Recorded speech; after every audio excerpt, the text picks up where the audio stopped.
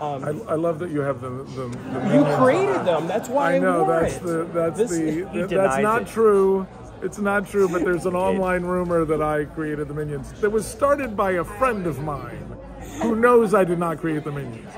No, hey, your your TikToks every day I get a different one from somebody as the Yeah. best things. This is one of my favorite jokes. Yeah. Twenty plus years ago, did you guys think that you would be at New York Comic Con talking about Phineas and Ferb? I wrote down on a little sticky note uh, that 20 years from now we would be at Comic Con talking about the uh, the reboot. Uh, And then I he lost, the- it yeah, before he so, could show it to any of us. So, So I we can't have no prove proof. it, but, But uh, yeah, we know. yes.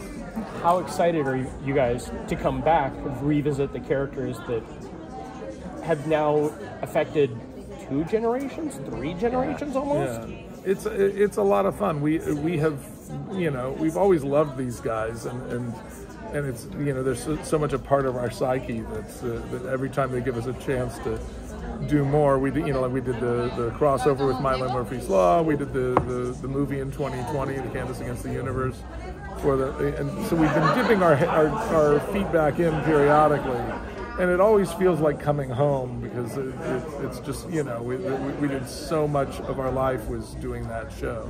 Those guys have been very good to us in, in many, many ways. Yeah. Yeah, I think uh, yeah, Phineas and Ferb are good for our souls. Yeah. I, as a fan, the Phineas and Ferb are good for my soul. Like COVID time, I was binging on Disney Plus, just watching the episodes over again. I think that's why I, I think the the the pandemic is a lot of why it's uh, like the, res, the the resurgence of the popularity and it sort of brought about the, this new uh, these new seasons. I think a lot of it was like people, uh, you know, being locked inside and saying, what, "What's my comfort show? What's what, what show reminds me of my childhood?" You know, or my or my kids' childhood. Yeah.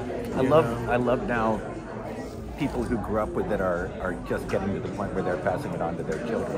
Yeah. And they said, yeah, I've heard from more than a few people saying it's really great to sit and watch it again with my kid and watch them get it, feel the way about it that, that I felt about it. Simpsons and Phineas and Ferb are kind of on the same level as the effect of, for the world almost. Yeah. We've worked on both those shows. Yes. Which is, And- we met on Simpsons. I feel like like like the biggest effect we had on the world is that there is now, for the first time in human history, an entire generation of people who know what an aglet is. I still sing that That's song. So, too. so we killed that joke. What joke? The, joke. one, you know, about not knowing what an aglet is. Yeah, because that used to be the thing. It's like there's this thing on the end of your shoelace, and everybody uses it, and nobody knows what it's called, and now everybody knows. Now they all know. called.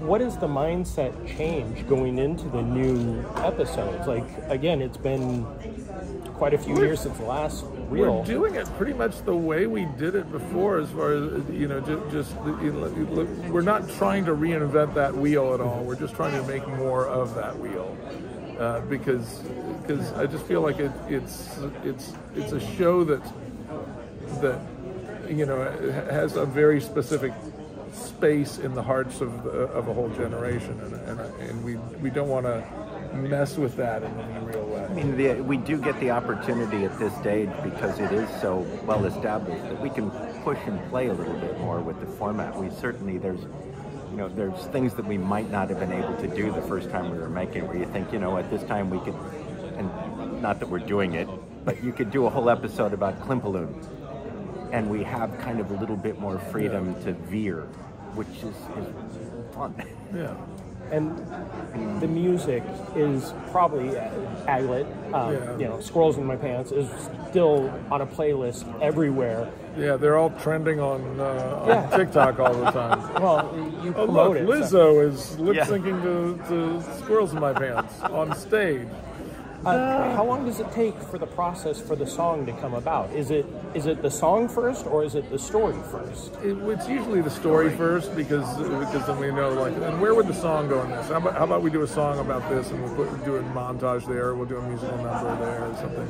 And it and it takes us about an hour to write a song uh, about anything because we've just done it so much at, at, at this point. Practically any style. and and you know, I always feel like that's the right amount of time to spend on a, on a song. If you you know, Yeah. I said something on TikTok once where, where I'd seen so many great uh, versions of Busted on online, and, and I was like, you know, when we wrote that song 20 years ago, it took us like 45 minutes. If I'd known how long it was going to stay in people's hearts and minds, we might have worked on it lo- longer, but it might have not might Yeah. not have been as good. I think that's the danger. What- I think one of the, the things that is good about our process is just because of our schedule, somebody takes it away from you pretty quickly. And it doesn't give you the chance to over massage it or over fuss it or overthinking it or question or doubt yourself.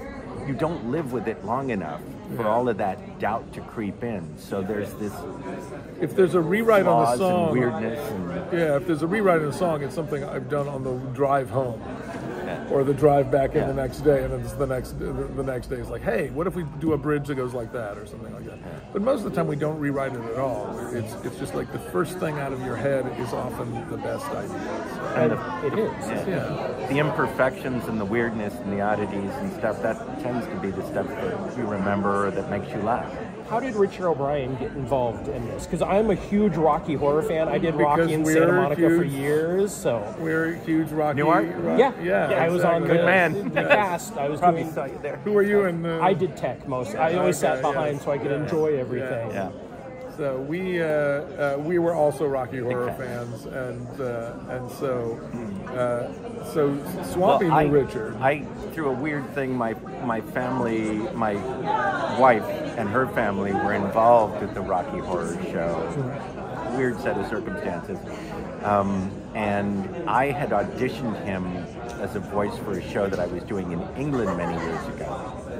And when we started talking about it I still could hear his voice and just thought that would just be weird and fun and wonderful. So made a few phone calls and got him to audition. And I found out years later from his daughter, he was sure he was wrong for the role.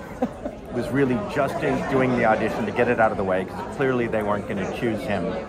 And then carried that doubt about his rightness for the role through the entire run of the show. Yeah, kept he was thinking he sure was every time fired. he came in, this would be the time when we'd go, "No, we realized you're wrong for it." the hardest one to cast was Phineas. Yeah. Phineas, we we actually we actually hired a, somebody to do it. Thought it would work, and then it didn't work. It just didn't work with the with the visuals. So it was like mm-hmm. this isn't working, right? We have to recast. And then we were down to like we were, we had to finish the pilot, and uh, and we had like we were down to two people, and we recorded them both doing the whole thing, so that if one didn't work, we could use the other because we didn't have time to audition them and then just decide. We recorded one guy for the for the whole day, and uh, and then the next the next day Vincent came in and, and we got the first guy done. Okay, good, good. He will work. We're putting it to the visuals. It works just fine. And then Vincent came in the next day and did it, and we were like, "Oh, this other guy just lost that, this gig." He was like like two no two two lines in. We were like, "Oh, he's just he The, just the it line to me that completely changed everything was when the guy says, "Aren't you a little too young to be uh, roller coaster engineers?" And he says, "Yes, yes, I am." And the the way Vincent said it, it was so pure, so positive, and like, "Oh, thank It you for wasn't like noticing." smarmy or anything. It and like, when yeah, any anybody else had said it, there was always a hint of like, "Yeah, what's it to you, jerk?" yeah And it was just that yeah absolute innocence and joy, and that yeah. it.